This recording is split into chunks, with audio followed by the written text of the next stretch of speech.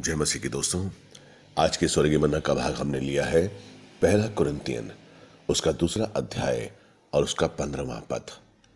पद कहता है, आत्मिक जन सब कुछ परखता है, परंतु वो स्वयं किसी मनुष्य के द्वारा परखा नहीं जाता। धन्यवाद पिता परमेश्वर। तेरा पवित्र सामर्थ्य वचन अद्भुत है परमेश्वर। तूने हमें अद्भुत तरीके से जीना सिखाया है परमेश्वर। तूने पहले हमारी आत्मा को ज़िंदा किया, जो मरी हुई थी, और उस आत्मा पर आपने अपनी आत्मा को डेला ताकि हम तेरी आत्मा की अगुवाई में अपने जीवन को चलाएँ। परमेश्वर, तूने बताया कि जीवन का मतलब क्या है? परमेश्वर, तूने बताया कि आत्मा में जीना और शरीर में जीना कितना अंतर है। हमें आत्मा को और राजा बनाना है। हमें शरीर के अनुसार नहीं जीना है। स्वाभाविक मनुष्य शरीर के अनुसार जीता है। स्वाभाविक मनुष्य शरीर के द्वारा जो देखता है, उस पर विश्वास करता है। लेकिन आत्मिक मनुष्य आत्मा के द्वारा जीता है और वो जो नहीं दिखता है, उस पर विश्वास करता है। इसलिए आत्मिक जन शारीरिक वस्तु को स्वाभाविक जन को परख सकता है, लेकिन स्वाभाविक जन आत्मिक जन को नहीं परख सकता है। क्योंकि वो आत्मा की बातों को नहीं जानता है। दोस्तों, हम भी पहले ऐसे ही थे। लेकिन जब परमेश्वर ने हमारी आत्मा को ज़िंदा किया तो हम जान पाए कि हमें आत्मा में क्या करना है। हमें आत्मा में क्या करना है? हमें किस तरीके से अपने जीवन को निर्वाह करना है? हमें कैसे रहना है? हालेलुया। आत्मा का भोजन क्या है? परमेश्वर का वचन। आत्मा का भोजन क्या है? जब हम प्रार्थना में उसके साथ रहते हुए, उसके चरणों में रहते हुए, उसकी स्तुति करते हैं और बल पाते हैं ताकि हम उसकी इच्छाओं को पूरा कर सकें, ताकि हम उसकी आज्ञाओं पर चल सकें, ताकि हम उसके अनुसार अपने जीवन को बिता सकें। यह आत्मा का भोजन है और इस आत्मा को भोजन को पाने के लिए हमें आत्मिक रूप में अपने जीवन को निभाना है। हमने अपने शरीर के शरीर के कार्यों को नष्ट करना है आत्मा के द्वारा। और यही बाइबल चाहती है। यही बाइबल चाहती है कि जब हम आत्मा के द्वारा अपने शरीर के कार्यों को नष्ट करेंगे तो ही हम उस आशीष को पा पाएँगे। इसीलिए रोमियो बारह का पहला क्या कहता है? अतः है भाइयों, मैं परमेश्वर की दया का स्मरण दिलाकर तुमसे आग्रह करता हूँ कि तुम अपने शरीर को जीवित, पवित्र और ग्रहण योग्य बलिदान करके परमेश्वर को समर्पित कर दो। यही तुम्हारी आत्मिक आराधना है। समझे आप दोस्तों, आपकी आत्मिक आराधना क्या है? आपकी आत्मा क्या चाहती है कि हम अपने शरीर का बलिदान करें? आपके आत्मा का भोजन क्या है कि हम शरीर का बलिदान करके उसको पवित्र ठहराकर और आत्मा के द्वारा चलें? हम शरीर के द्वारा नहीं चले। जो दिखता है हम उस पर विश्वास नहीं करें, जो नहीं दिखता उस पर विश्वास करें।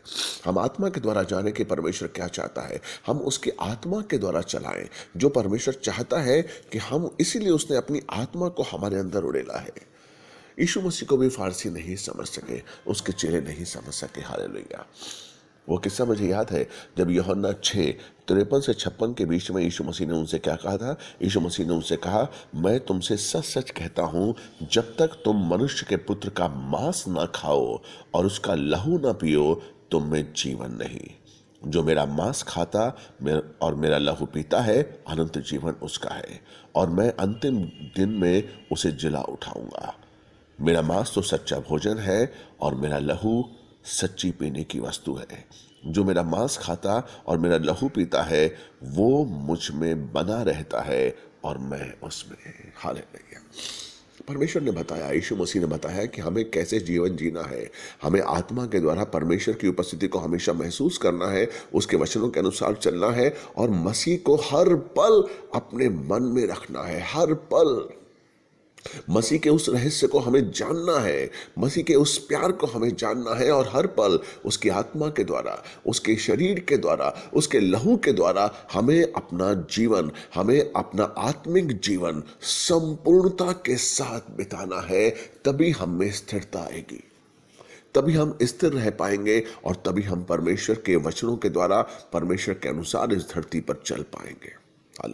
क्योंकि उसके चेले यीशु मसीह के चेले उसे नहीं जानते थे। वो इसके साथ उसके साथ रहते थे, लेकिन उसे नहीं जानते थे। हाल जब वो सामरी स्त्री से बात कर रहा था, यीशु मसीह के चेले उसके लिए भोजन लेने के लिए गए। वो समझ रहे थे कि यीशु मसीह का शरीर का भोजन चाहिए। लेकिन जब वो आए तो यीशु मसीह ने क्या कहा कि, मेरा भोजन ये है कि मैं अपने भेजने वाले की इच्छा पूरी करूँ और उसका कार्य पूरा करूँ। योहन्ना चार का चौंतीस। परमेश्वर ने बताया है कि हमें किस भोजन की ज़रूरत है। परमेश्वर ने हमें बताया यीशु मसीह के द्वारा कि हमें कैसे जीना है। हाल इसलिए अगर हम कलिसिया में जाते हैं और हमारी आत्मा हमारे साथ नहीं है, अगर हम आत्मिक भोजन नहीं पाएँगे तो हम हम मसीह जीवन नहीं जी पाएँगे। हमें अपनी आत्मा को प्रबल करना है। हमें अपनी आत्मा को शक्तिशाली बनाना है। और वचन हमारी आत्मा का भोजन है। परमेश्वर की इच्छा हमारी आत्मा का भोजन है। परमेश्वर की योजना हमारी आत्मा का भोजन है। परमेश्वर की आज्ञा हमारी आत्मा का भोजन है और उसके अनुसार हमें अपने जीवन को बिताना है। इसीलिए प्रभु भोज के दिन हम क्या लेते हैं? परमेश्वर का माँ यीशु मसीह का मांस लेते हैं, उसका लहू लेते हैं ताकि वो हम में प्रकट रहे। ताकि वो हम में प्रकट रहे, उसकी उपस्थिति हर पल हम में रहे, उसकी शक्ति हर पल हम में रहे, उसका सामर्थ्य हर पल हम में रहे। अरे बकाहिल्ला है मंदो, हे पिता परमेश्वर, धन्यवाद धन्यवाद धन्यवाद। तेरी उपस्थिति में सुख है परमेश्वर, तेरे नाम में शिफा है परमेश्वर, तेरे तेरे वचनों में ही अद्भुत अद्भुत शिक्षा है, अद्भुत गुण है परमेश्वर। धन्यवाद देते परमेश्वर। सुनने वाले हर भाई बहन के लिए आशीष, सुख और चंगाई मांगते हैं।